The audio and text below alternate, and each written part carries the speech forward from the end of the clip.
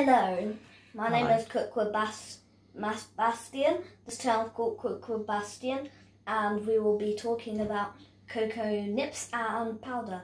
Why should consume them. Okay. I've just started a new series called The Top Three Reasons. Mm-hmm. I made this. This will show you the top three reasons. You've probably seen my top three reasons why not to consume table salt. But Mm-hmm. this is why to consume cocoa nibs and powder. Okay, Cocoa can you show us what they look like?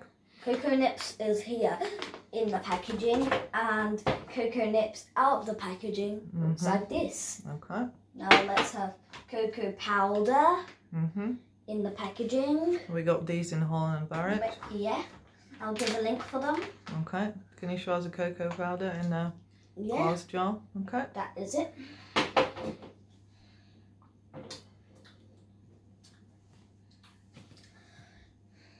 So now let's get on to the third topic. Mm-hmm. Cocoa is an antioxidant. Just looking at my antioxidant chart, aren't, aren't, raw cocoa powder is the highest antioxidant on the chart. About 96,000 ORAC score units per 100 grams. You've probably seen that same score units for for cocoa nibs in my video. You can see nibs is 36,000.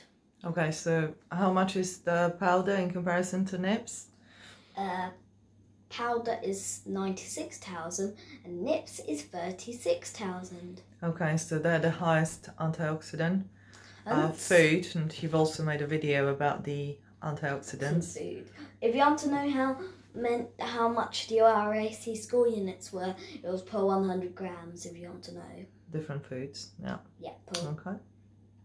so now let's click into the second topic, the ORAC score units and the rank. Cocoa nibs is rank two. Cocoa powder is rank one. The ORAC score units of cocoa powder is 96,000 and for nibs 36,000. So around 63,000 less for cocoa nibs. Mm-hmm. I've got this this pomegranate here for a reason. Mm-hmm. I'm gonna tell you why. Pomegranate is also an antioxidant. Can we sit? Can you lift it up higher? Yeah, Okay. and it's a How do I like to eat my pomegranate? What do I do? roll it in cacao, but I don't do that. And what else do I add to my pomegranate? Goji berries. Yeah, and what else? Goji berries is about rank four, and pomegranate is rank five. Okay. If you've been wondering, and pomegranate's ORAC score is about 3,046 per 100 grams. Goji berries is 22,000 per 100 grams. So what what other benefits are there of eating uh, raw cacao powder and uh, a cacao nibs? Let's go into Apart Okay. from it being the highest antioxidant food. let's go into topic number one. Um, what effects does it do to your body? Mm-hmm. It if you take cocoa nibs and powder they pretty much have the same they do they can prevent heart attacks if you didn't know Mm-hmm. Blood clotting. blood clotting Mm-hmm. blood clotting or even strokes Mm-hmm.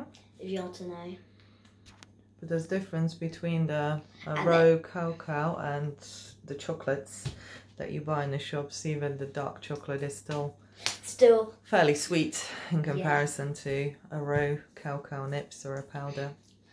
around chocolate has four times less the ORAC score unit of raw cacao powder or nibs. Mm-hmm.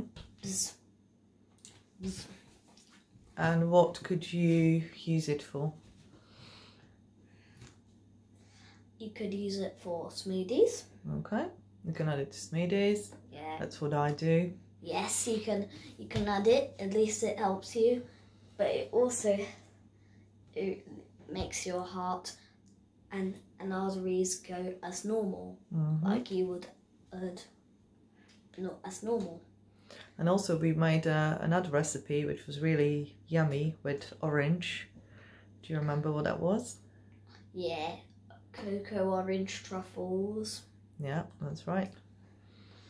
So, and they're amazing because obviously we only use as a sweetener uh, some organic dates. Yeah. Okay. But you can add cocoa nibs s- s- and powder to not just smoothies. You can add it to much more. Okay. Any other ideas? Uh, you can add it even to your pomegranate, Mm-hmm. as you can add your gojis. Mm-hmm. Here's my pomegranate bowl. You can make a hot chocolate as well. Yeah. I mean, obviously, it's not as sweet as the chocolate from the shop, but Yeah. um, if you give this a try, it is it is worth the it is worth the try. Please put your video link in the description so we can watch your video. Oh. And maybe put that recipe on our channel if you want to have it. Which one? Uh, hot chocolate. If you if you put your video link in the description, maybe I will publish this video from the recipe in the comments. Okay. You put it in the comments. Okay. And I've got one last thing to talk ab- about Mhm. about my channel that you probably have noticed. Okay. I've been using sugar for my recipes lately. Actually, that apple crumble was quite luxurious. We put a lot, a, a, not much sugar into that apple crumble, making it really tasty. We actually put double the amount of sugar into that black forest crumble. In my opinions, the apple crumble tasted better. It had less sugar, and then we've made the apple crumble again, and we've tried to make the crumble without flour and without sugar, with a tiny bit of honey, and it was amazing, wasn't it? Yeah, Okay, so we might record that again, and that will be uh, a vegan crumble, and we can try to do it without sugar completely. We'll get some Lady Pink apples that are sweet, and we'll mix it with some other ones. yeah. So we are going to make a, a proper vegan apple crumble. Okay,